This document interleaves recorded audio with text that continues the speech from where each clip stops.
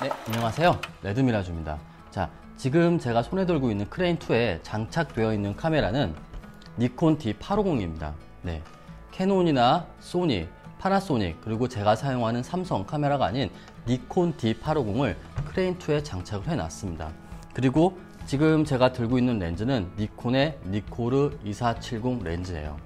자, 오늘 제가 이 크레인2에 니콘 카메라와 렌즈를 지금 장착하고 보여드리는 이유는 이제 이 크레인2가 니콘 D850을 캐논이나 소니처럼 완벽하게 support하기 때문에 그와 같은 이슈를 여러분들께 말씀드리기 위해서 지금 이렇게 영상을 촬영하고 있습니다. 니콘 D850 같은 경우는 크레인2에 동봉된 캐논 컨트롤 케이블 USB 3.0 컨트롤 케이블을 장착을 하면은 셔터 스피드, ISO 조리개, 그리고 녹화, 녹화 해제가 캐논이나 소니와 동일하게 여기에 있는 크레인2의 컨트롤 부에서 완벽하게 support가 가능합니다.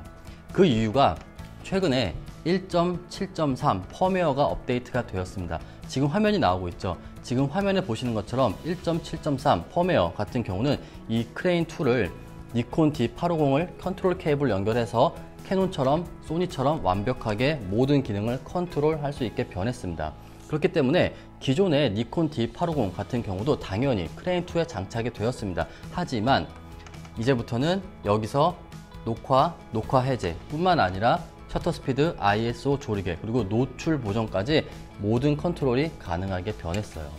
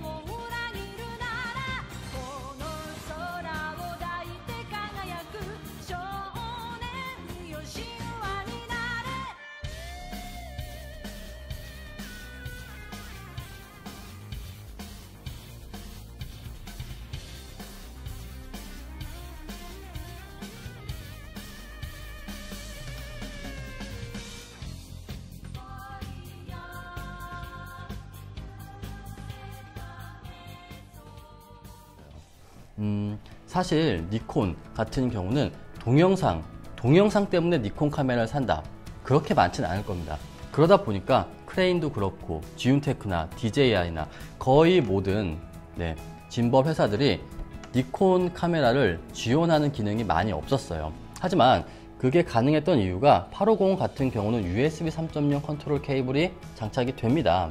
그리고 또 캐논이나 소니처럼 바디에서 외부 컨트롤을 받아서 다양한 컨트롤을 할 수 있게끔 기능이 추가되었기 때문에 지윤테크도 이와 같은 기능을 추가한 것 같습니다. 그렇기 때문에 현재로서는 네, 아직까지는 니콘 카메라를 완벽하게 그리고 또 가장 많은 기능을 지원하게 된 짐벌이 이 원핸드 짐벌 크레인2가 돼버린 것 같습니다. 사실 저 같은 경우도 1.7.3 펌웨어가 나왔을 때 니콘 카메라가 캐논처럼 소니처럼 완벽하게 지원된다고 할 때 조금 놀랐어요. 음, 그렇기 때문에 니콘 D850을 사용하시는 분들은 이 크레인2와 함께 더욱더 편안하게 다양한 기능을 완벽하게 타 브랜드처럼 응용할 수가 있을 것 같습니다. 어, 그리고 지금 여기 보시면 저 같은 경우는 지금 servo follow focus를 장착했고 렌즈는 지금 삼양의 시네마 렌즈를 장착을 해놨습니다. 아시는 분들은 아시겠지만 이제 이 지윤테크 같은 경우가 이 15만원짜리 servo follow focus를 무료로 증정합니다. 어, 사실 니콘 같은 경우는 동영상 오토 포커스 성능이 소니나 캐논이나 삼성처럼 네, 그렇게 뛰어나지가 않기 때문에 오히려 수동으로 네, 손맛 나는 수동 focusing이 더 나을 수도 있어요. 그런 분들은 기존의 고가의 무선 또는 유선 follow focus를 구매하는 것이 아니라 지금 크레인2를 구매하시면 여기에 있는 15만원짜리가 어, 동봉이 되기 때문에 음, 포커스를 조절할 수가 있을 것 같습니다. 자, 그 다음은 제가 렌즈에 대해서 말씀을 드릴게요. 이 짐벌을 쓰는 분들이 가장 즐겨 사용하는 렌즈 화각이 뭘까요? 음, 역시 2470일 겁니다. 캐논도 2470, 그리고 소니도 2470GM이나 2470 칼자이즈 F4, 제가 쓰는 삼성 NX1 같은 경우도 1650S, 파나소닉은 당연히 1235. 네. 니콘 같은 경우도 2470 니코르 렌즈가 있습니다. 그리고 지금 보시면은 크레인2에 D850 그리고 니코르 2470 렌즈가 장착이 되어 있습니다. 어, 제가 이 니코르 2470 렌즈를 세팅하고 여러분들께 보여드리는 이유는 이 니코르 2470 렌즈 같은 경우는 너무 길어요. 그렇기 때문에 일반적인 방법으로는 세팅이 완벽하게 지원되지 않습니다. 그 이유를 말씀드릴게요. 우선은 그 이유는 간단합니다. 니코르 2470 렌즈 같은 경우는 70mm에서 경통이 들어가고 24mm에서 경통이 나오는 네, 그런 구조를 가지고 있어요. 그리고 기존의 2470 렌즈들에 비해서 굉장히 깁니다. 이 무게 중심이 아무리 이게 가볍다고 하더라도 3.2kg이 안 된다 하더라도 앞쪽이 너무 길거나 뒤쪽이 너무 길면은 짐벌 세팅이 어렵습니다. 이 니코르 2470-2 같은 경우는 그와 같은 단점을 정말 골고루 다 가지고 있어요. 그런데 나는 2470 니코르 렌즈를 사용하고 싶다 하시는 분들은 네 여기 하단을 봐주세요. 하단에 보시면은 지금 지윤테크에서 새로 출시한 100g짜리 무게추가 장착이 되어 있습니다. 네, 이 무게추가 장착이 되어 있으면은 뒤쪽으로 무게 중심이 조금 쏠리기 때문에 그래도 2470 니코르 렌즈를 장착을 하고 지금 틸트 축, 그 다음에 패닝 축, 롤축 모든 것을 세팅을 할 수가 있습니다. 지금 보세요. 네, 걸리지가 않죠? 이렇게 운용이 가능합니다. 하지만 제가 꼭 말씀드리고 싶은 부분은 지금 여기를 보시면은 네, 지금 화각대가 23mm가 아닙니다. 지금 대략 35mm 언저리에다가 제가 지금 렌즈의 화각을 맞춰 놨어요.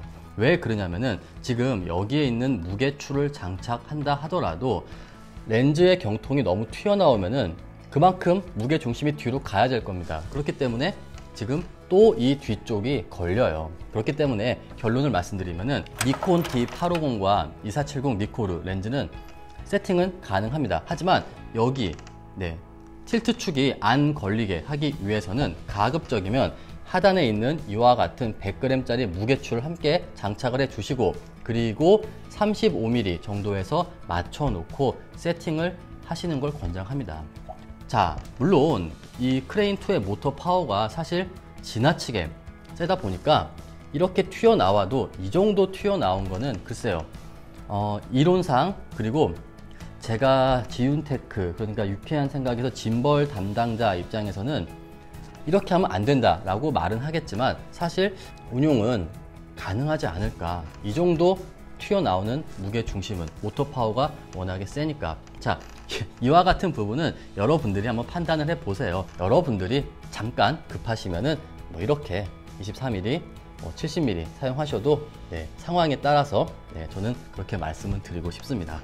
크레인2가 니콘 D850을 사용하시는 분들한테는 현재 가장 적합한 그리고 많은 기능을 지원하는 뭐 사실 크레인2 같은 경우는 이미 전 세계적으로 이 모터 파워와 그 다음에 신뢰성은 검증됐기 때문에 네, 니콘 D850을 사용하시는 분들은 한번 만약에 짐벌을 고려하신다면 은 크레인2를 고려해 보시는 것도 나쁘지는 않을 것 같습니다.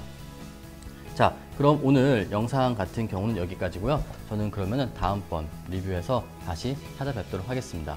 감사합니다.